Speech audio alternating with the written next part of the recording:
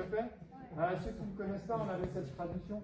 Je dis Jigoro et vous criez cadeau très très fort. Vous êtes prêts? On lâche l'énergie avant de partir en week-end. Et après, je vous ai ramené un petit biberon. Ah, d'abord, d'abord, on se motive.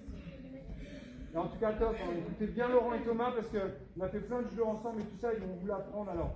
Hein allez picorer leur judo, faites attention à ce que vous faites et vous allez vous faire plaisir. On est prêts Fort, hein, parce que Vous me décoiffez. Ah, j'ai toujours les mêmes vannes. Hugo Ok, bougez pas, je vais, je vais vous, je vais vous chercher un petit bonbon.